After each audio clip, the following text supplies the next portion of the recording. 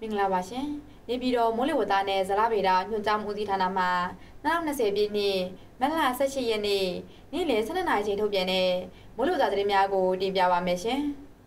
ဒီကနေ့မဆန်တော်ချိန်7:30နာရီအချိန်မိုးလေဝသကြိုတို့မှာဖမ်းဝရရှိတဲ့ပုံရမင်္ဂလာပင်လယ်မြောက်ပိုင်းမှာတရင်ကင်းစင်နေပြီးကပ်ပလီပင်လယ်ပြင်နဲ့ကြံမင်္ဂလာပင်လယ်ော်တို့မှာတရင်တင့်တင့်ဖြစ်လို့နေပါတယ်မြန်မာနိုင်ငံပေါ်မှာကတော့မြန်မာနိုင်ငံမြောက်ပိုင်းနဲ့ တောင်ပိုင်းဒေသတွေမှာတိမ်နှငယ်မှတရင်တင်တင်ဖြစ်လို့နေပြီးကျန်ဒေသတွေမှာတိမ်နှငယ်ဖြစ်လို့နေတာကိုတွေ့ရပါတယ်။ဘင်္ဂလားပင်လယ်ော်အခြေအနေမှာဘင်္ဂလားပင်လယ်ော်မြောက်ပိုင်းမှာအများအားဖြင့်တာယာနေပြီးကပ်ပလီပင်လယ်ပြင်နဲ့ကျန်ဘင်္ဂလားပင်လယ်ော်တို့မှာတရင်တင်တင်ဖြစ်လို့နေပါတယ်။မြမပင်လယ်ပြင်မှာလှိုင်းနှငယ်မှအတရင်တင်ရှိပါမယ်။လှိုင်းမြင့်မှာ မြမကဲဝမ်ချောင်းနဲ့ကမ်းလွန်ပင်လယ်ပြင်တို့မှာလေးပေမှခုနှစ်ပေခန့်ရှိနိုင်ပါတယ်။ဒီကနေ့ညနေဒီခမန်းချက်များအနေနဲ့ကတော့ကချင်ပြည်နယ်စကိုင်းတိုင်းဒေသကြီးထပ်ပိုင်းနဲ့တနင်္သာရီတိုင်းဒေသကြီးတို့မှာနေရာကွက်ကြားမိုးထကြုံရွာနိုင်ပြီးချင်းပြည်နယ်စကိုင်းတိုင်းဒေသကြီးအောက်ပိုင်းရှမ်းပြည်နယ်အေရရီတိုင်းဒေသကြီးရောင်တိုင်းဒေသကြီးနဲ့မွန်ပြည်နယ်တို့မှာတရင်တရင်တရင်ဖြစ်တော့ငါ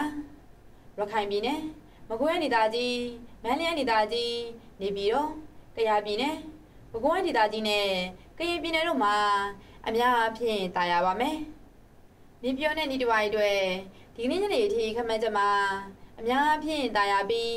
အမြင့်ဆုံးမူချိန်မှာ39ဒီဂရီစင်တီဂရိတ်69ဒီဂရီဖာရန်ဟိုက်ရှိနိုင်ပါတယ်။ရန်ကုန်မြို့နယ်ဤတစ်ဝိုင်းအတွက်ဒီကနေ့ညနေအထိခမန်းချက်မှာလည်းအများအပြားတာယာပြီး